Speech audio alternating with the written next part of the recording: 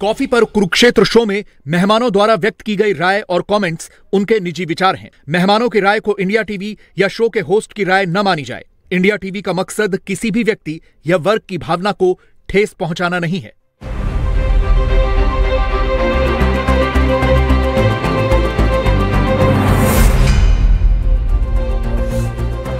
नमस्कार, बहुत स्वागत आप सभी का। आप देख रहे हैं आपका कार्यक्रम कॉफ़ी पर कुरुक्षेत्र। मैं हूँ सौरभ शर्मा आपके साथ रोज की तरीके से वो प्रोग्राम जहाँ बातें हम बिल्कुल खुलकर करते हैं और वो बातें करते हैं जो आपको कहीं और सुनने को मिलती नहीं है। आज का प्रोग्राम संभल के विवाद पर। संभल की जो ये शाही मस्जिद है, ये कब से है? क्या इसके अंदर वो प्राचीन भगवान कल्की का वो मंदिर स्थापित था? और उसे तोड़ करके मस्जिद बनाई गई। अचानक ये मुकदमा कहाँ से आ गया, ये भी आप बात अक्सर सुनते होंगे। और कितनी मस्जिदों के अंदर और दरगाहों के अंदर जाकर के मंदिर ढूंढे जाएँगे? और मान लीजिए कहीं साक्ष्य मिल भी गया उसका तो उससे हासिल क्या होगा? आप उस जगह को हटा तो देंगे नहीं, मस्जिद को कहीं, मस्जिद को हटा करके मंदिर तो बना नहीं देंगे, फिर इस सबका उद्देश्य क्या है? बहुत सारे सवाल ऐसे पूछे जाते हैं। और अब तो जैसा दंगा संभल में हुआ, उसके बाद से बहुत सारे नेताओं ने भी ये कहना शुरू किया कि भाई ये देश को किस ओर ले जाना चाहते हैं हमारे लोग। ये जो संघ से, बीजेपी से जुड़े हुए जो लोग हैं, ये ऐसी अदालतों के अंदर याचिकाएँ लगाए जा रहे हैं। देश के अंदर खून खराबा हो जाएगा, कोई कहता है गृह युद्ध हो जाएगा तरह तरह की बातें। इस सब का जवाब आपको आज कार्यक्रम की जितनी भी अवधि है, उसमें देने की हम कोशिश करेंगे। मेरे साथ आज बहुत सीनियर पैनल है। मुझे बहुत खुशी है कि हमारे प्रोग्राम में आए हैं हरिशंकर जैन जी, देश के जाने माने वकील हैं। और आप जितने ये बात सुन रहे हैं चाहे वो राम मंदिर से लेकर के ज्ञान वापी मस्जिद वाला मामला हो, या वो श्री कृष्ण जन्मभूमि मथुरा का मामला हो, या फिर अब ये संभल वाला मामला हो, जहाँ पर हरिहर मंदिर की बात सामने आई है शाही मस्जिद के अंदर, उन सब मामलों में याचिकाकर्ता हैं पिटिशनर हैं, और यहाँ संभल में तो वो मुख्य याचिकाकर्ता है। सर, बहुत स्वागत आपका। प्रदीप सिंह जी रोज की तरीके से हमारे साथ हैं। सर, बहुत स्वागत आपका भी। और ओम जी उपाध्याय जी हमारे साथ हैं। Indian Council of Historical Research के डायरेक्टर हैं रिसर्च विंग से। और बड़ी सी किताब भी आज साथ लेकर के आए मैं पढ़ दूँ, सर, क्या है इसके ऊपर लिखा हुआ है? Hindu temples what happen to them the Islamic evidence क्या हुआ भारत के मंदिरों का? और बाकी तो वो इसके एक्सपर्ट हैं, वो बताएँगे। लेकिन आमतौर पर एक बात कही जाती है, आप अगर इतिहासकारों से पूछें तो वो उल्टा एक काउंटर सवाल पूछते हैं। ऐसा क्यों है कि पूरे उत्तर भारत के अंदर आपको कोई बड़ा मंदिर दिखाई नहीं देता? पुराना बना हुआ कोई भव्य विशाल मंदिर कहीं दिखाई देता हो तो बताइए। भाई राम जी का मंदिर नहीं था। आ, शंकर जी का मंदिर उसकी उसके साथ उसके ऊपर तो बहुत रिसर्च हो गई कितनी बार तोड़ा गया किन किन किन ने उसका जीर्णोद्धार कराया। ऐसे ही श्री कृष्ण जन्मभूमि का मंदिर है सोमनाथ का मंदिर है कितनी बार टूटा। तो क्यों मंदिर विहीन कर दी गई ये पूरी भूमि और किसने की? ये सारी बातें पूछी जाती हैं, आप थोड़ा दक्षिण में जाइए तो आपको बड़े बड़े मंदिर दिखाई देते हैं, नॉर्थ में क्यों नहीं दिखाई देते? क्योंकि उत्तर भारत ने झेला है उन आक्रमणों का, आक्रमणकारियों का दंश, जो इस्लामिक वेव्स में आए थे आक्रमणकारी, उनका। सर, ज़रा संभल की बात आपसे पूछना चाह रहे हैं। एक तो एक बेसिक सवाल जो बहुत से लोगों के मन में होगा हमने हमने अयोध्या विवाद को जाना था बहुत लंबे समय से कृष्ण भूमि विवाद को जाना था और हमने ज्ञानवापी मस्जिद के बारे में भी सुना था कि यहाँ इन जगहों पर हम्म। बड़े विशाल मंदिर थे और वो तोड़ करके मस्जिदें बनाई गई।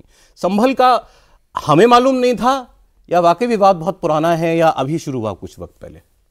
देखिए वास्तव में इतिहास के बारे में नहीं बताऊँगा कि बहुत बड़े इतिहास भी यहाँ बैठे हुए हैं उनके आगे मैं कुछ भी नहीं हूँ मुझे इतिहास का उतना ज्ञान नहीं है।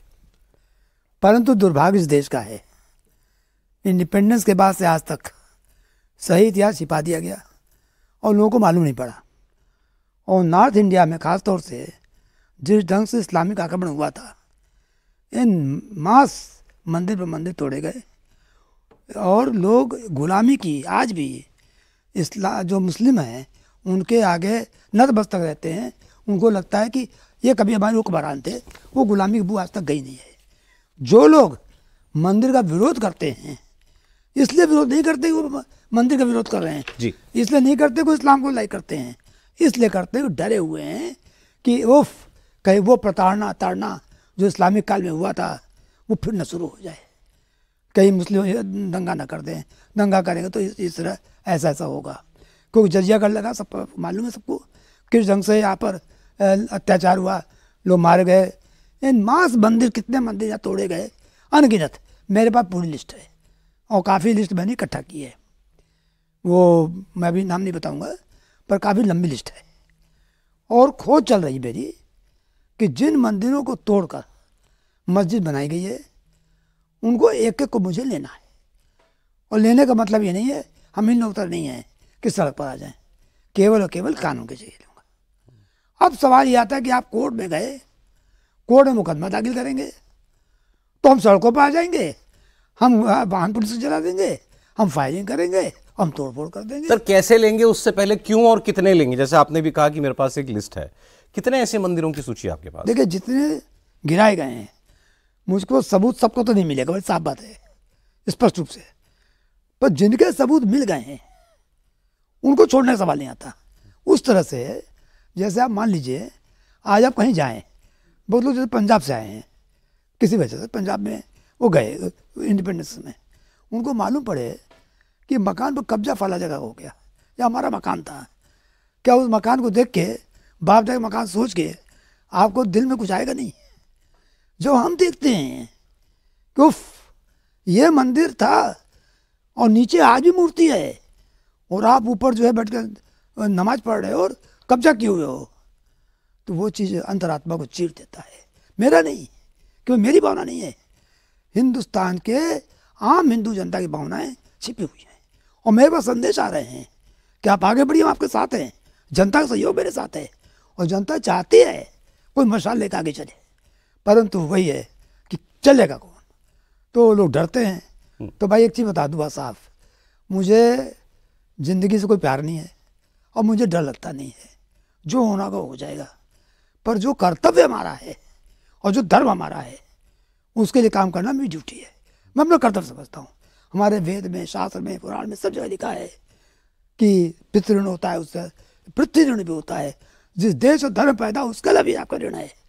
मैं जानते हुए कि इतने इतने पापाचार अत्याचार अन्याय हुए हैं कागजों में मौजूद है और उसको मैं छोड़ के चला जाऊँ।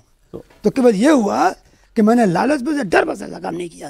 या इसलिए नहीं किया कि मेरा लाभ हो जाए मेरी जान बच जाए या मुझे मैं कवा खा लूँ। आप कह रहे हैं कि आप लड़ते रहेंगे और जहाँ जहाँ भी आपको पता चलेगा मंदिर था उसे तोड़ तोड़ा गया है वो आप रिक्लेम करेंगे। ये मेरा प्रण है और प्रण को पूरा करके रहूँगा और एक एक मंदिर को जो मुझे मालूम पड़ जाएगा बिना डरे काम करूँगा मुझे परवाह नहीं है। अरे सर ये ये भी कहा जाता है कि भाई जैसे संभल का उदाहरण ले लेते हैं। मान लीजिए आपने यहाँ पर मांग करी कि भाई यहाँ जाँच की जाए।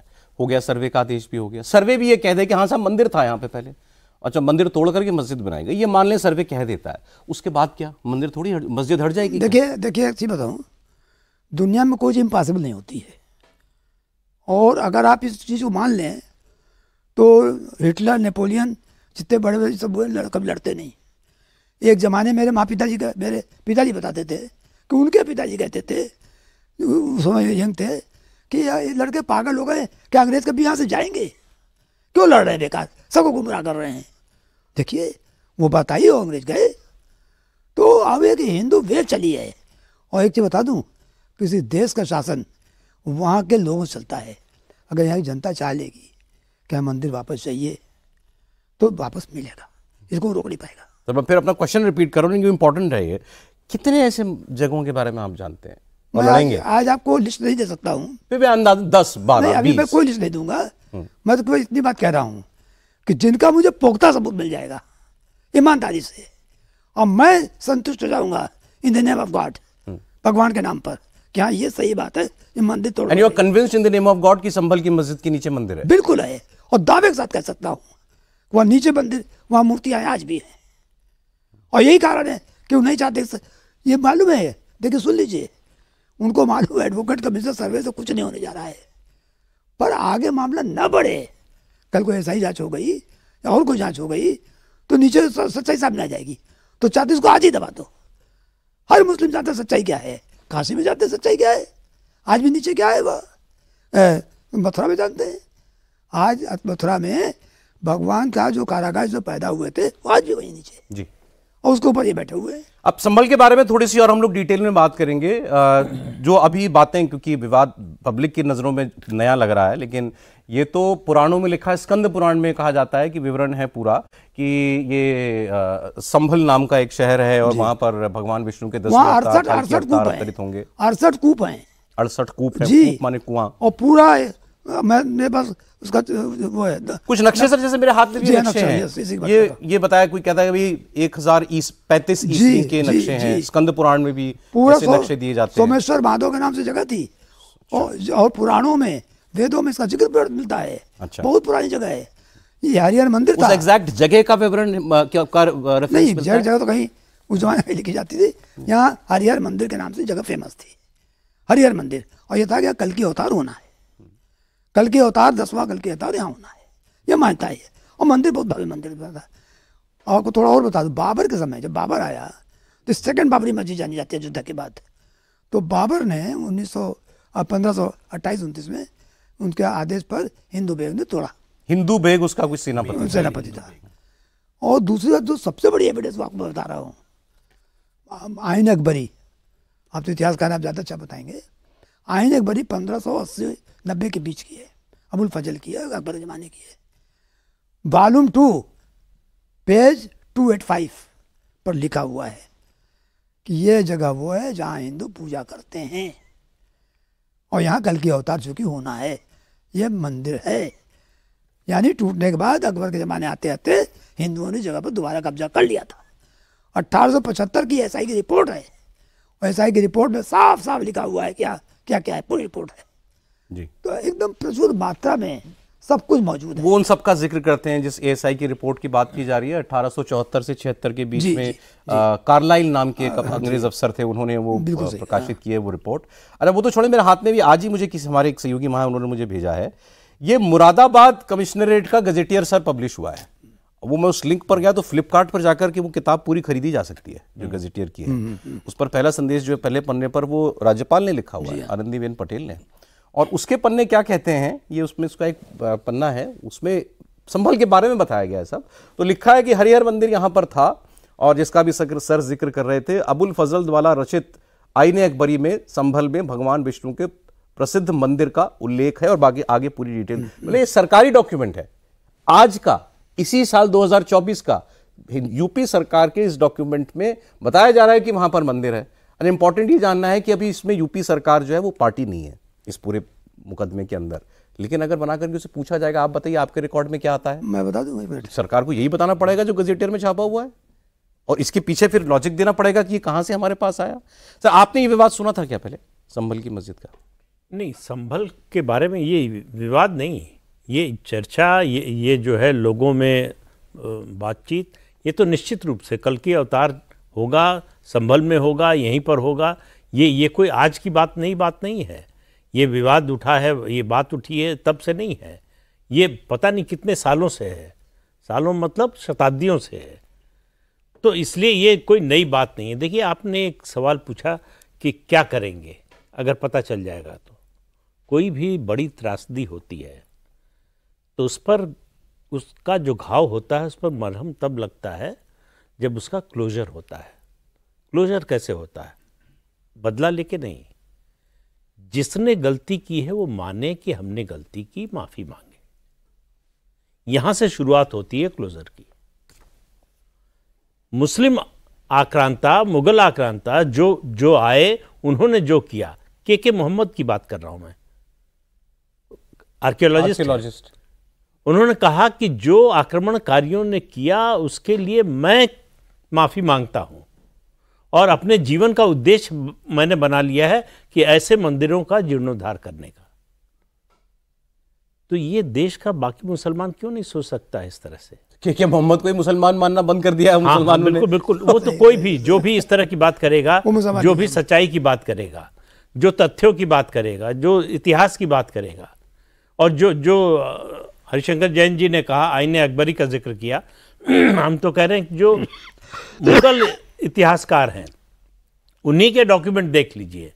पहले उसी के आधार पर तय कर लीजिए कि वो कहाँ कहाँ मंदिर मानते थे। दूसरी बात, आप दुनिया भर का उदाहरण उठाकर देखिए। ये हम जो कर रहे हैं, ये हम अपनी कल्चरल हेरिटेज को रिक्लेम कर रहे हैं। हम किसी की जगह पे कब्जा नहीं कर रहे हैं।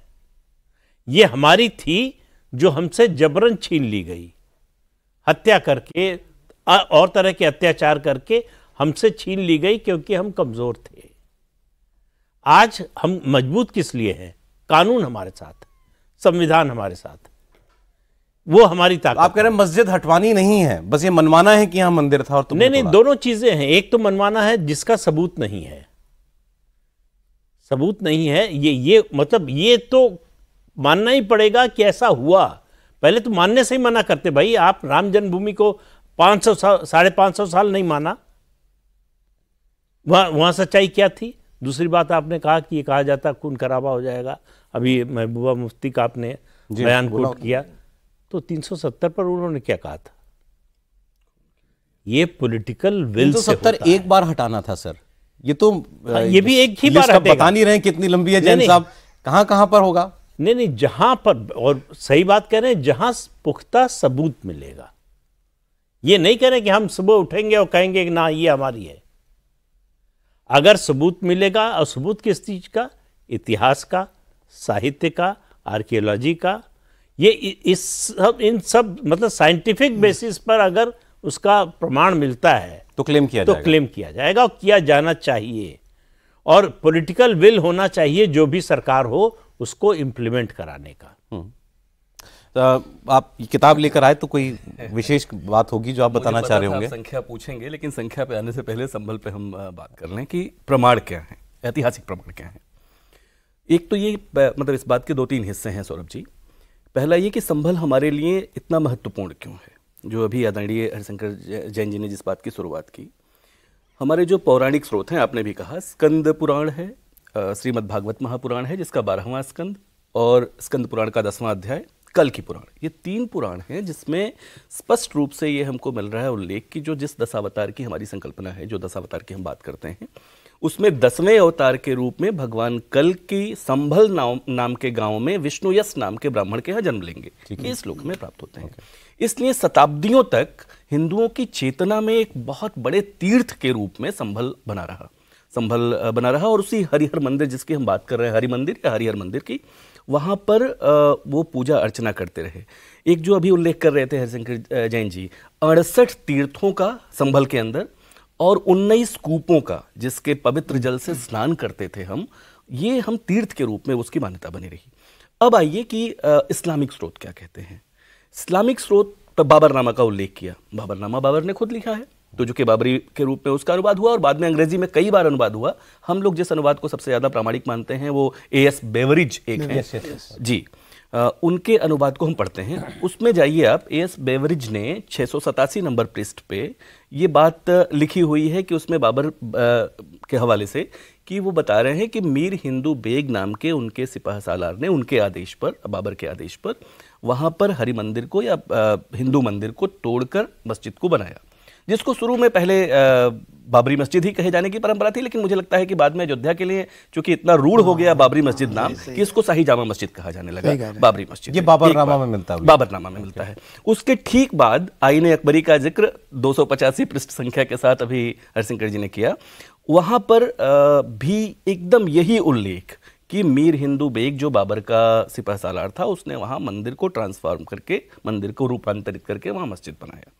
अब आइए तीसरी बात जिस रिपोर्ट का भी आप ज़िक्र कर रहे थे। कनिंघम जब आर्कियोलॉजिकल सर्वे ऑफ़ इंडिया के भारतीय पुरातत्व सर्वेक्षण के डीजी थे, डायरेक्टर जनरल थे तो एक बड़े युवा आर्कियोलॉजिस्ट थे, मैं खूब पढ़ता हूँ उनको, उनकी रिपोर्ट्स को। एसीएल कार्लाइल एसीएल कार्लाइल ने दो सत्रों में 1874-75 और 75-76 1874 पचहत्तर और पचहत्तर छिहत्तर में पूरे मध्य दोआब का गंगा जमुना का जो दोआब है और गोरखपुर का सर्वे किया। और उनकी जो सर्वे रिपोर्ट अट्ठारह में 1879 में बहुत लोग उसको 1875 बार बार कह रहे हैं बेसिकली वो अट्ठारह की रिपोर्ट है। 1879 में एसआई कोलकाता ने उसको पब्लिश की। बहुत कॉम्प्रिहेंसिव रिपोर्ट है मैं उससे ठीक से गुजरा हूँ उस रिपोर्ट से। उसके आप पृष्ठ संख्या 25-26 पे जाइए संभल के सर्वे का वो ज़िक्र कर रहे हैं। जब पूरे मध्य दोआब और tours in central Doab and Gorakhpur ये उस किताब का नाम है। जी पच्चीस छब्बीस पृष्ठ पे वो लिख रहे हैं। वो कह रहे हैं कि जब मैं संभल गया और मैंने उस मस्जिद को देखा तो मुझे बताया गया वहाँ स्थानीय लोग ये कह रहे थे कि हरि मंदिर है विष्णु का मंदिर है तो मेरी जिज्ञासा जगी। वो कह रहे हैं कि उसके बाद लिटरेरी सोर्सेज का भी उल्लेख कर रहे हैं। लेकिन जो दो तीन बहुत महत्वपूर्ण बातें बता रहे हैं, वो कह रहे हैं जब मैंने उसका सर्वे किया तो जो उसके पिलर्स थे पिलर्स को एक खास तरह का प्लास्टर लगा के ढका हुआ था।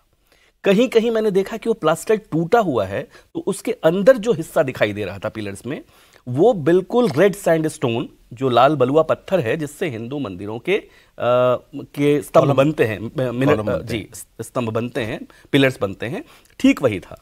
तो कह रहे हैं कि मुझे लगा कि ये हिंदू मंदिरों के स्तंभ है और बाकी जो स्ट्रक्चर है उससे एकदम अलग दिखाई दे रहा था।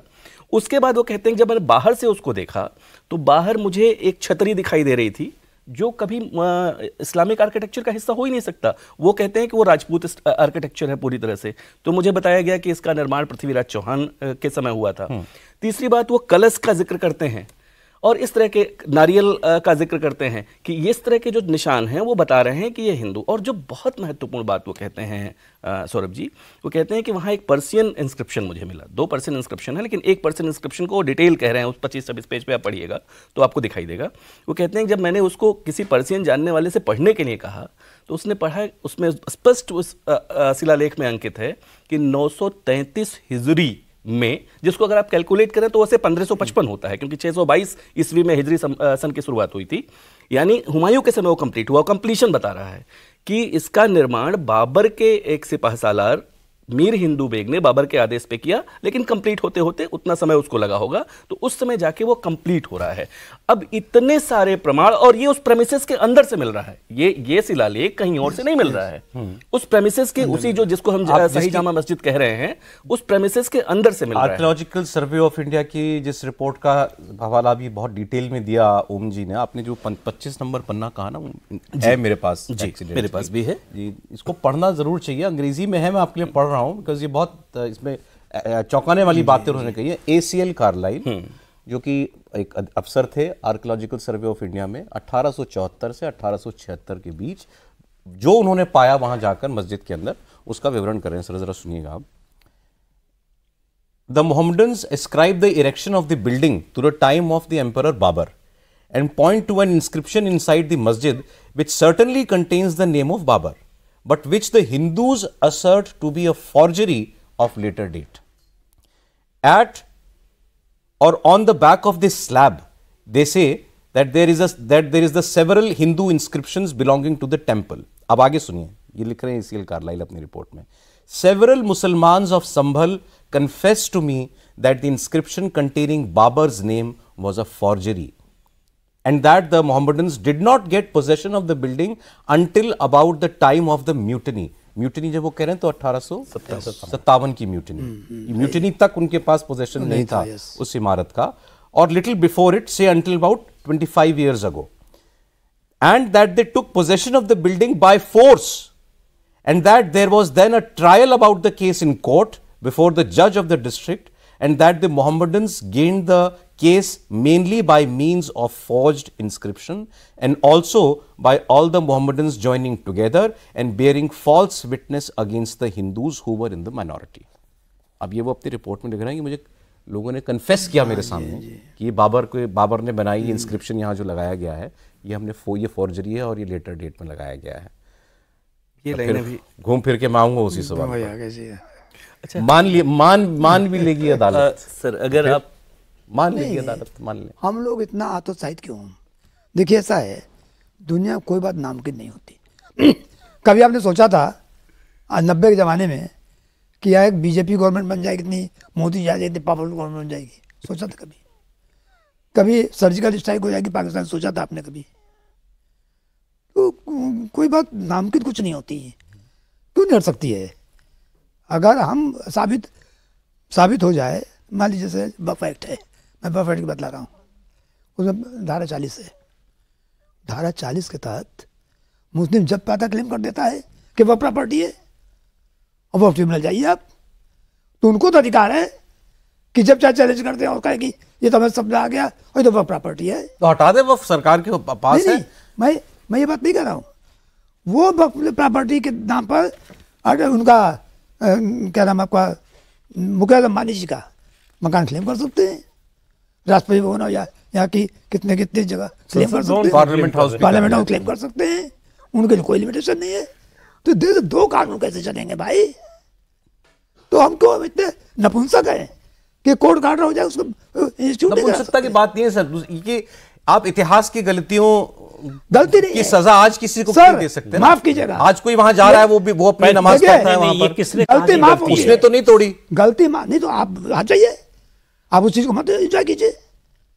हम ये तो नहीं करें आप पनिश करिए जेल में डाल दीजिए। भाई आपके नहीं आप हट जाइए। भाई यूटिलाइज इट और एक बात और बताऊँ गलती माफ़ होती है। अनाचार अत्याचार अपराध माफ़ नहीं होता है। गलती माफ़ होती है। गलती कंडोन होती है। ये गलती नहीं थी ये मानवीय अत्याचार था। अब मुसलमान क्या करें ऐसी सारी जगहों पर? खुद छोड़ दे। खुद छोड़ दें। यस क्यों यूटिलाइज कर मान लें और छोड़ दें मुझे आप यूटिलाइज क्यों कर रहे हैं? हम ये तो नहीं कह रहे कि आपको जेल में डाल दीजिए इनके प्रोसिक्यूट कीजिए। तब आप कहते हैं क्या साहब उनका इनको क्यों दिया जाए? पनिशमेंट बात समझ में आती है। बट भाई यूटिलाइजिंग आप रह क्यों रहे हैं? आप जिस मकान में रह रहे हैं इस साबित हो जाए कि मकान ओम जी का है। हैं? तो आप मकान पड़े रहेंगे। बाप दादा गलती कर गए छोड़ दीजिए दे दीजिए। पर यह कहिए कि नहीं अगर ओम जी ने मांगा मकान प्रदीप जी ने मांगा निकल आए ओनर तो हम तो मार देंगे भाई दंगा हो जाएगा ला एंड ऑर्डर सिचुएशन खराब हो जाएगी। तो इसका मतलब ये हुआ कि आप गुंडागर्दी करोगे और कानून अपने हाथ में लोगे। वो सार्वजनिक रूप से बोल रहे हैं। भाई हम अदालत के सामने गिड़गिड़ाएँगे नहीं हम सड़क पर आकर हाँ, हाँ। लेंगे। तो बड़ी भयावह स्थिति है। ये बहुत भयावह स्थिति है कि कोई आदमी ये कहे सर, एक सेकंड, तो दूसरा वो जो आपका प्लेसेस ऑफ़ वर्शिप एक्ट का सब लोग हवाला दे रहे हैं? भाई वो कानून किस हाँ, लिए है। फिर? देखिए प्लेस ऑफ़ वर्शिप एक्ट जो है मिस नोमर है इस पर काशी मथुरा सब में उठ चुका दोनों कोर्ट से खारिज हो चुका सुप्रीम कोर्ट मामला पेंडिंग है। और, और प्लेस ऑफ़ वर्शिप अप्लाई करता है नहीं करता कोर्ट देखेगी। सर तो गुम्मेबाजी थोड़ी होगी। इस तरफ़ तो नहीं देखा जाएगा। वो तो कहे प्लेस ऑफ़ वर्शिप में जो मुकदमा दाखिल किया है उसको पनिश कीजिए। ठीक है मुकदमा दायर कर दीजिए। कैरी शंकर जैन को पनिश कीजिए क्यों उसके खिलाफ काम किया है? तभी तो कोर्ट जाना पड़ेगा आपको। ओम जी कुछ कह रहे मैं बीच में बोल गया नहीं मुझे माफ़ कीजिएगा। बीच में तो ज़्यादा अनधिकार चेष्टा शायद कर रहा था। आप जैसे अभिभावक के होते हैं असल में आपने कहा ना बार बार आप पूछ रहे थे और मुझे पता नहीं मैं जिस तरह का सम्मान करता हूँ हरिशंकर जी का कि क्यों संख्या बताने से वो हिचक रहे हैं अभी। 1800 का ज़िक्र तो ये किताब लाने के पीछे मुझे मालूम था कि आप संख्या पूछने वाले हैं। 1800 का ज़िक्र ये किताब सीताराम गोयल जी और अरुण सौरी जी ने उन्नीस सौ इक्यानवे में लिखी अरुण शौरी जी भी थे साथ में सीताराम गोयल जी जी। जी और ये ये ये एक हज़ार आठ सौ मंदिरों की बात कर रहे हैं। आज़ाद भारत में बैन होने वाली कुछ चुनिंदा किताबों में ये किताब है शायद बहुत कम किताबें बैन हुई हैं। उत्तर प्रदेश सरकार ने इसको उन्नीस सौ इक्यानवे बानवे में बैन किया था। जब मई उन्नीस सौ इक्यानवे में किताब आई थी उसी समय बाबरी का मामला चल रहा था ये किताब बैन हुई थी। और इसमें 1800 हिंदू मंदिरों और धर्मस्थलों का ज़िक्र उन्होंने किया है पूरे प्रमाण के साथ किया है प्राइमरी सोर्सेस के साथ किया है आर्कियोलॉजिकल और आर्किटेक्चरल सोर्सेस के साथ किया है। नेम प्लेस एंड डेट बिल्कुल। कि कैसे उनको ध्वस्त किया गया कैसे उनको तोड़ा गया दो वॉल्यूम है मैं एक ही वॉल्यूम अभी आपको दिखा रहा हूँ और इसमें 1800 का तो ज़िक्र है बहुत सारे उत्साही लोग 30000 भी कहते हैं लेकिन समझ जो असली बात है ना आप देखिए इस- इस्लाम मस्जिद है कुतुब मीनार वाली। कुतुब मीनार वाली दिल्ली में उसका जो नाम है वही नाम ही देख लीजिए कुव्वत उल इस्लाम इस्लाम की ताकत। ये नाम रखा गया और वहाँ पे आज भी एएसआई का एक प्लेक लगा है जो बोर्ड लगा है सौरभ जी उस पर लिखा हुआ है कोई भी यात्री जाता है तो उसको दिखाई देता है वहाँ आगे कि 27 हिंदू और जैन मंदिरों को तोड़कर यहाँ पर इस मस्जिद का इस परिसर का निर्माण किया गया। यही लगवा दो ना आप वहाँ भी। स्पष्ट सारे शोर से चीख चीख के चिल्ला चिल्ला के वो चाहे हिंदू स्रोत हो इस्लामिक स्रोत हो या क्रिश्चियन सोर्स मान लीजिए यद्यपि वो ब्रिटिश सत्ता के समय का सोर्स है उसमें तो इतने बढ़िया ये तरीके से बोर्ड लग जाएँगे कि ये मस्जिद जो है मंदिर तोड़ के तो उससे ये उससे पहला हो तो, जाएगा। ये पहला तो कदम होना ही चाहिए ना। क्यों क्यों कोई डर रहा है अपने हम कह रहे हैं कि ये हिंदुओं की आस्था जो बहुसंख्यक जनता थी यहाँ की उसकी आस्था पर कुठाराघात हुआ। हमारे अ, हमारे जो धर्म और हमारी श्रद्धा के केंद्र थे उन पे कुठाराघात हुआ और 800 साल लगातार हुआ। आज हम अगर उसको केवल रिक्लेम कर रहे हैं हिस्टोरिकली रिक्लेम कर रहे हैं अभी आदरणीय प्रदीप जी ने कहा ना कि हम उसकी बात ही नहीं करेंगे जिसपे हमारे पास प्रमाण नहीं है। हम तो बात नहीं कर रहे हैं उसकी जिसके पास है वो भी वही शायद हैं वो भी वही। आर्किटेक्चर देखेंगे तो वही निकलेगा। क्योंकि उन और खासकर शुरू के 200 साल दोनों ही सल्तनत काल में भी मैं इतिहास के एक विद्यार्थी के रूप में बहुत माइन्यूटली जब इसको ऑब्ज़र्व करता हूँ तो मुझे दिखाई देता है। आप देखिए सर के सुल्तानों ने क्या किया। सत्तर किलोमीटर दूर जब मस्जिदें बनाई उन्होंने आके जौनपुर में तो वो मंदिर तोड़ रहे हैं जाके बनारस में और वहाँ से वहाँ के पूरे पूरे स्ट्रक्चर्स को ले आके एज इट इज़ उस मस्जिद में लगा रहे हैं। और नाम तक नहीं बदल रहे हैं। जयचंद गाहड़वाल ने अटाला देवी मंदिर बनवाया था। वहाँ पे मस्जिद बनी आज भी उसका नाम अटाला देवी मस्जिद है। अटाला देवी मस्जिद। देवी लाल जी यही नाम है ना? यही नाम है। और, और ये डेलिबरेट हुआ है ऐसा नहीं है और एक नहीं ऐसे पचास जगहों पे तो मैं अभी तुरंत बता सकता हूँ आपको आपका समय अलाउ नहीं करता इतना कम समय हमने इस कार्यक्रम के लिए रखा हुआ है। अदरवाइज़ मैं पचास तो एकदम एक सिल्स एक एक क्रम से बता सकता हूँ। जैसे हाँ आप कुछ बोल रहे थे सर। थोड़ा समय एक दिन ज़्यादा रखिए एक दिन नहीं नहीं बड़ा दिन से भाई समय आज थोड़ा मामला ऐसा है। अब सर जैसे अब ये अजमेर वाला मामला आ गया अजमेर दरगाह वाला। बहुत से लोग इसको एक फिर, एक फ्रिवलस केस कह रहे हैं। मैं आज किसी से बात कर रहा था? तो हैं वो भी इधर राइट विंग विचारधारा के लेकिन उन्होंने भी कहा कि भाई हमने तो नहीं सुना इस ये विवाद तो हमने पहले कभी नहीं सुना था। भाई आपने नहीं सुना तो आपकी गलती है। आपने नहीं पढ़ा आपकी प्रॉब्लम है। अगर इम्तहान में कोई क्वेश्चन आ जाए और कोई लड़का कि हमने तो पढ़ा नहीं था सर तो आपकी प्रॉब्लम है ना किताब आप अजमेर वाले से भी कन्विंस हैं? बिल्कुल कन्विंस है। और सही बात है अजमेर में है मंदिर है। अबे नहीं है तो साबित हो जाएगा। इसमें इतना बवाल मचाने का ज़रूरत है। पुष्कर में मस्जिद अब मजार कहाँ से आएगी भाई? आज उस स्थान को उस मजार के नाम से दरगाह के नाम से जाना जाता है। पुष्कर ब्रह्मा जी का मंदिर। यस। कितने मंदिर हैं देश में या दुनिया में कह लीजिए ब्रह्मा जी के? उस शहर को हम उसकी पहचान जो है जी। उस दरगाह से है। तो बात ये नहीं है कि कौन सा कहाँ मंदिर था कहाँ नहीं था वो तो मुद्दा है ही। बात ये है कि हमारी कल हमारे कल्चर को हमारे रिलीजन को हमारी आस्था को किस तरह से कुचलने का काम किया गया। हम ये कह रहे हैं कि तो बताने का काम ओम जी जैसे इतिहासकारों का है ना वो किताबें लिखें एजुकेट करें दुनिया आज के जवानों बच्चों को कि भाई ये हुआ था भाई, इतिहास साढ़े पाँच सौ साल तो आपने एजुकेट किया अयोध्या के बारे में। हम्म। माना कोई क्या? जब तक अदालत का फैसला नहीं है अब भी अदालत के फैसले को भी कहते हैं कि हमने मन मारकर जो है मान लिया अदालत का फैसला। हम इसको दिल से स्वीकार नहीं कर आज दिल्ली के शाही इमाम ने जामा मस्जिद में जो खुतबा किया है उसमें उन्होंने कहा है ये राम मंदिर का केस पहला केस है जिसमें अदालतों ने मेजोरिटी की भावनाओं के लिए फैसला दे दिया सबूतों के खिलाफ जाकर के। मैं सर मैं ज़्यादा नहीं जानता लेकिन राम बाबरी मस्जिद राम जन्मभूमि विवाद को भी बातचीत के ज़रिए आपसी में हिंदू मुसलमानों के बीच में उनके लीडर्स के बीच में सुलझाने की कोशिश हुई थी। कहते हैं उस वक्त के प्रधानमंत्री ने इस पर काफ़ी इंटरेस्ट भी लिया था। अ, लेकिन क्या ये बात उस वक्त कही जाती थी कि भाई अयोध्या में राम जी का मंदिर बनारस में शिव जी का मंदिर और मथुरा में कृष्ण जी का मंदिर? नहीं, नहीं, ये तो ये विश्व- तीन इन तीन मस्जिदों पर विवाद छोड़ दें मुसलमान तो फिर और ऐसी बातें नहीं ये तो विश्व हिंदू परिषद का घोषित स्टैंड था। तीन मंदिर चाहिए हाँ या तो तीन मंदिर छोड़ दीजिए नहीं तो उस समय बात होती थी नहीं तो फिर तीन लाख की बात होगी। क्या छोड़ा उन्होंने? क्या छोड़ा? नहीं माना। तब समय यही तो ऑफ़र खत्म हो गया। तो क्या एक भी नहीं माना? ऑफ़र खत्म हो गया। ऑफ़र खत्म हो गया ना? अब तो तीन लाख निकलेंगे तो भाई ऑफ़र खत्म हो गया वो। आप उठा लेते तो मैं कि ठीक है अगर था तो अगर था तो। पर मेरा कहना ये है विद ड्यू रेस्पेक्ट आपको मैं सब में ले रहा हूँ थोड़ा माफ़ कीजिएगा। ओम जी ज़्यादा ज्ञानी आदमी है इनको ज़्यादा कहना चाहिए था। ऐसा बिल्कुल नहीं है। किसी हिंदू नेता को किसी संघ को किसी संगठन को किसी भी संगठन को इस समय जो भी हो या धर्माचार्य हो वो पूरे हिंदू जनता का ठेका नहीं ले सकते हाँ। और ये नहीं कह सकते कि अब कोई क्लेम नहीं करेगा। मैं तो करूँगा। मैं तो किसी को नहीं मानूँगा। मैं किसी बाउंड नहीं हूँ। मैं किसी बाउंड नहीं हूँ। मैं धरती पर आया हूँ अपने कर्मों से। जाऊँगा अपने कर्मों से। भगवान से मेरी बात होगी अपने कर्मों से। मैं किसी को मानने जाऊँ। मेरा कर्म कहता है कि मंदिर टूटी है तो वापस देने का अधिकार है। आपको लोग कहेंगे आप आग लगा रहे हैं देश में। अगर सही बात करने को आग लगाना कहें तो मैं क्या कहूँ मेरी भावना तोड़ी गई तब आग नहीं लगी थी। जब हमारी मंदिर टूटी तब आग नहीं लगी थी। इतने सात सौ साल से दिल में आग जल रही है। इस आग का क्या होगा? आज भी कितनी जनता जो मन मार के रहती है। आप तो इतिहास कहाँ जानते? आज भी काशी में काशी बता रहा हूँ माँ श्रृंगार गौरी का जो गेट है तोड़ के मस्जिद बना दी। सालों साल हिंदू जनता जाती है उस गेट को पकड़ के हाथ ऐसे कर लेती है। भावना आज भी है। क्योंकि आप जा नहीं सकते आगे पुलिस भी ऐसी जो भी तिरानवे तक तो पूजा ही है। तिरानवे तक तो पूजा हो सर संभल में ये संभल लोग जाते हैं हाथ जोड़ते हैं। संभल में। ये आ, मैंने पहले भी मैंने पढ़ा था ये शलभ मनी त्रिपाठी जो है विधायक हैं बीजेपी के। इन्होंने आज कुछ तस्वीरों के साथ वही नक्शे जो मैं आपको बता रहा था जिसका पुराण में इनका ज़िक्र आता है वो और कुछ तस्वीरें। उन्होंने लिखा है कि 2012 यानी सपा सरकार जब अखिलेश यादव मुख्यमंत्री बने थे 2012 से पहले तक हरि मंदिर पर संभल वाला मंदिर हरि मंदिर पर पूजा अर्चना होती थी।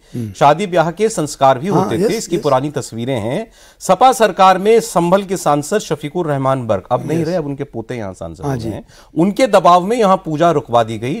हरि मंदिर को पूरे तौर पर जामा मस्जिद में तब्दील कर दिया गया। जिस कुएँ का आप ज़िक्र कर रहे हैं ना वही कुएँ का आधा हिस्सा आज भी बाहर से दिखाई देता है। मस्जिद की दीवार के अंदर बाहर जो है दिखाई देता है गोल सा चबूतरा जैसा। और अं- आधा हिस्सा बताते हैं अंदर। कवर कर दिया गया उस कुएँ को ऐसा लोग बताते हैं।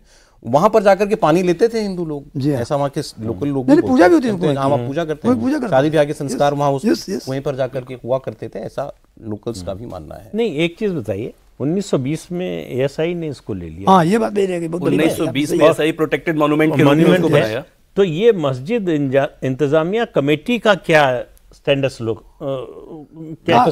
कैसे कब्जा ले सकते हैं आप आपने कानून आपने बिल्कुल सही छोड़ा ये बात रह गई थी 1920 में आपको धन्यवाद देना पूछा तब क्या एएसआई ने इसका कब्जा ले लिया। जी। एएसआई प्रोटेक्टेड मॉन्यूमेंट हो गया। और जब एएसआई प्रोटेक्टेड मॉन्यूमेंट है तो मस्जिद कमेटी नाम की कोई चीज़ नहीं रही और वो इसका कब्जा नहीं रख सकते। बड़ी साफ़ बात है। और इस समय मुकदमे में पार्टी कैसे बन सकते हैं और सेंट्रली प्रोटेक्टेड मॉन्यूमेंट है ये। सेंट्रली प्रोटेक्टेड मॉन्यूमेंट है। केंद्र सरकार की ड्यूटी है किसको? तो इसी एएसआई कैसे गायब हो गई वहाँ से? मतलब इसीलिए- छोड़ क्यों दिया उन्होंने? इसीलिए तो मैंने अपने सूट में इन्होंने पढ़ा तो है नहीं। बैरिस्टर ओवैसी साहब ने भी नहीं पढ़ा। ले उड़े। प्लेस ऑफ़ वर्शिप पे प्लेस ऑफ़ वर्शिप में लिखा हुआ है कि जो ऐसा ही प्रोटेक्ट मॉन्यूमेंट है उस पर यह एक्ट लागू नहीं होगा। उसे भी लिखा है। बिल्कुल। और सूट में मेरी प्रेयर सुन लीजिए क्या है। अभी पूजा पाठ की नहीं है। अभी तो केवल ये है कि ऐसा ही कब्जा ले और हमको अंदर जाने की सेक्शन अठारह के हिसाब से अधिकार दिया जाए। अभी केवल इतनी सी बात है। हमको मतलब पिटिशनर्स को। पिटिशनर्स मतलब आम हिंदू आम आम हिंदू अंदर जा पाए यस यस तो अभी तो साहिल के आसपास ही थे और आग लग गई। इसको बोलते साहिल के आसपास थे। अब बंद हो गया। आपने भी कहा कि एएसआई वो जो 90 एक्ट है प्लेसेस ऑफ़ एक्ट उसमें लिखा है कि एएसआई प्रोटेक्टेड मॉन्यूमेंट्स पर वो लागू नहीं होगा। अप्लाई नहीं होगा। भूल गए सब। मथुरा जो है मथुरा वाला वो भी ऐसे प्रोटेक्ट मॉन्यूमेंट है। नहीं तो उस मॉन्यूमेंट का स्वरूप बदला जा सकता है इसका मतलब? नहीं उसमें लिखा है कि रिलीजियस कैरेक्टर के हिसाब से वहाँ पूजा पाठ या धमाल जो भी होगी। वो डिटर्मिन होगा। ये लोग पढ़ते ही नहीं है। नहीं, नहीं, और उस उस एक्ट के बारे में भी जस्टिस चंद्रचूड़ का जो फैसला है मई जी हाँ। 2022 का उसके हिसाब से उस एक्ट के बावजूद ये तय कर सक तय करने का अधिकार है कि ये दरअसल कौन किस धर्म को क्या? बिलोंग करता है हाँ ये, ये, इसके इसकी जो है आइडेंटिटी है क्या? भाई आप प्रोटेक्ट तो तब करेंगे जब ये तय कर लेंगे कि ये मुसलमानों Yes. का है हिंदुओं का है क्रिश्चियंस का है जिसका भी आप मानते हैं। तो इसीलिए ज्ञानवापी का मामला जो खुला इसीलिए खुला ना। Yes places of worship act के होते हुए भी तमाम जो है दलीलें दी तर्क दिए सुप्रीम कोर्ट ने कुछ नहीं सुना हाई कोर्ट ने नहीं सुना डिस्ट्रिक्ट कोर्ट ने नहीं सुना। और उसकी सुनवाई चल रही है केस चल ही रहा है। सर जैसे अभी सर ने कहा कि भाई हम तो अदालत के ज़रिए कर रहे हैं तो तुम भी अदालत के ज़रिए हम, हमारा अपोज कर लो तुम रुकवा लो हम चाहते हैं मुकदमा हो तुम रुकवा लो वटेवर लेकिन जिसको वो दादागिरी कह रहे हैं या गुंडागर्दी कह रहे हैं कि नहीं तुम कोर्ट अदालत जाओगे तो हम सड़क पर उतर जाएँगे हम गोली चलाएँगे हम पत्थर मारेंगे। सरकार का नज़रिया इसमें क्या होना चाहिए? भाई सरकार को तो लॉ एंड ऑर्डर भी देखना है। ठीक है मान वो कोई आदमी कहेगा मेरी धार्मिक भावना आहत हो रही मैं तो सड़क पर निकलूँगा। मैं आपको स्ट्रीट पावर दिखाऊँगा। मान लिया आज ये तय कर ले मुसलमान सरकार का रुख क्या होना चाहिए? सरकार का जो किसी भी सरकार का होना चाहिए लॉ एंड ऑर्डर मेंटेन करने के लिए। कैसे किसी को आप किसी संस्था को व्यक्ति को समूह को कानून व्यवस्था अपने हाथ में लेने दे सकते हैं? फिर तो अराजकता की बात हो गई ना। पुलिस किस लिए? फिर थाने बंद कर दीजिए। सड़क पर सब कुछ तय होने दीजिए। और जितने माफियाओं ने किसी के मकान कब्जा कर लिया है ये भी कोई सूट नहीं फ़ाइल होगा कोई लैंड ऑर्डर बिगड़ जाएगा? ये भी लिख दीजिए कानून में। कहूँ मना दीजिए। तो चाहे जितने मोर्चे खोल जाएँ हाँ। उसका डर नहीं। नहीं होना चाहिए। सरकार में अगर विल पावर है अगर आपको उन, आपकी नज़र उनके वोट पर नहीं है यस उसके लिए आप कॉम्प्रोमाइज को तो कम से कम हम ये कह ही सकते हैं इसको इसकी नज़र तो वोट पे नहीं है। मुसलमानों के। इसीलिए हो रहा है। आपको ये नहीं लगता कि इस पर सुप्रीम कोर्ट कहीं रोक लगा देगा सब? आज तो मांग यही की गई थी ना सुप्रीम कोर्ट से ये सब बंद करवाइए आज तो कोई राहत दी नहीं। आज कोई ऐसी राहत नहीं दी सुप्रीम ऐसा सुप्रीम कोर्ट क्या करेगी? उसका रिएक्शन क्या होगा पब्लिक का? और फिर आप क्या करेंगे? सुप्रीम कोर्ट ने रोक लगा दी तो। जैसे आपने तो इसको मिशन बनाया हुआ अपना। सुप्रीम कोर्ट कहते हैं नथिंग डूइंग आप ये सब मामले नहीं सुन सकते इसका एक ही जवाब है। जब न्याय के दरवाजे बंद हो जाते हैं तो क्रांति के रास्ते शुरू होते हैं। फिर आप भी सड़क पर उतरेंगे क्या? मैंने कहा क्रांति के रास्ते अब क्रांति कई ढंग होते हैं। कौन ढंग अपनाऊँगा? बाद में बताऊँगा। लेकिन मुद्दे नहीं छोड़ेंगे ये। मुद्दे छोड़ने सवाल ही नहीं आता। मुद्दे छोड़ने सवाल ही नहीं आता। जब तक राम नाम सत्य नहीं होगा तब तक मुद्दे मैं नहीं छोड़ूँगा। ये कन्विक्शन आपने कब से आई? ये करना ही है मुझे ये- यही करना है अब। ये मैं ग्यारह साल की उम्र से इसके लिए तड़प रहा हूँ। एक लंबी कहानी कभी टाइम आप पर नहीं होगा इतना बता देगा। इस समय। ये मेरा मिशन है मेरा। और एक बात और बताऊँ। मेरी किसी मुसलमान से व्यक्तिगत लड़ाई नहीं है। किसी से व्यक्तिगत नहीं है? एक भी। सवाभावी फ्रेंड्स परंतु फ्रेंडशिप का मतलब रोटी और बेटी नहीं होता। मुस्लिम अपनी जगह, हिंदू अपनी जगह इसका मतलब नहीं कि मुस्लिम लड़ाई है। मेरी किसी मुस्लिम लड़ाई नहीं है। और हमारा किसी मुस्लिम ने पर्सनली मेरा बिगाड़ा है आज तक। बड़े साफ़ को से रहता हूँ मैं। ये लड़ाई इतिहास की है, कौम की है। केवल कौम की लड़ाई है।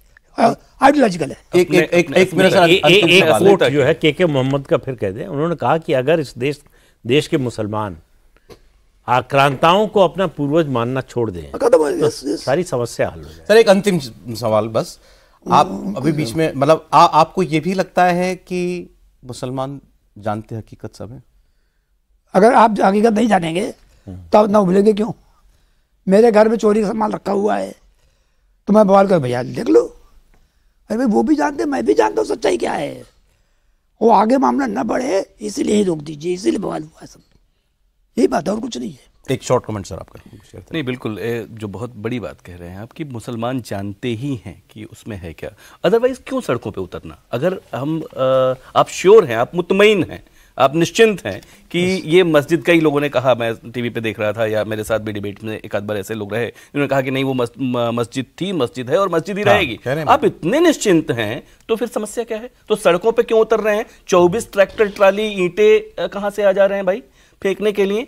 और पूरी लॉ एंड ऑर्डर को पूरी न्याय व्यवस्था को अ, क्यों बिगाड़ दे रहे हैं आप? आपका इस देश के न्याय और कानून और संविधान पे आपका अ, कोई भरोसा है या नहीं है ये जो स्थिति बन रही है। दूसरे जो अभी आप बात कह रहे थे मैं केवल एक लाइन उस पर भी बात कर लूँ। 1920 में वो एसआई का प्रोटेक्टेड मॉन्यूमेंट घोषित हुआ। 1950 के दशक में जब जो अभी वर्तमान सांसद हैं जिसका आप नाम ले रहे थे सफीउर रहमान साहब उनके जो दादाजी थे वर्तमान सांसद के उनके समय में एसआई के अधिकारियों को वहाँ से भगाया गया। शायद अभी मैं न्यूज़पेपर नहीं देख पाया लेकिन अगर रिसर्चर की भांति अगर उन डेट्स के न्यूज़पेपर्स को मैं लगाता हूँ अभी कुछ रिसर्चर्स को खंगाले तो शायद न्यूज़पेपर क्लिपिंग्स क्लिपिंग्स मिले पे। समय जी। सच में लग रहा है ज़्यादा समय होना चाहिए था। कई बार कहा जाता है कि दुनिया में सबसे मज़बूत चीज़ क्या होती है? लोहा पत्थर आज स्टील आ गई तो स्टील। क्या हो सकती है सबसे मज़बूत चीज़? तो ये सब नहीं होता। जानकार लोग कहते हैं जो wise people say it is the man's will जो दुनिया में सबसे मज़बूत चीज़ है ये आपकी आत्मशक्ति जो है वो तो उसकी तो कोई कमी मुझे नहीं दिखाई देगी, मेरे सामने अब आप आगे देखिए क्या होता है। सर, बहुत धन्यवाद। आप प्रोग्राम में। बहुत शुक्रिया जैन साहब। प्रदीप जी, बहुत शुक्रिया आपका। ओम जी, बहुत धन्यवाद आपका।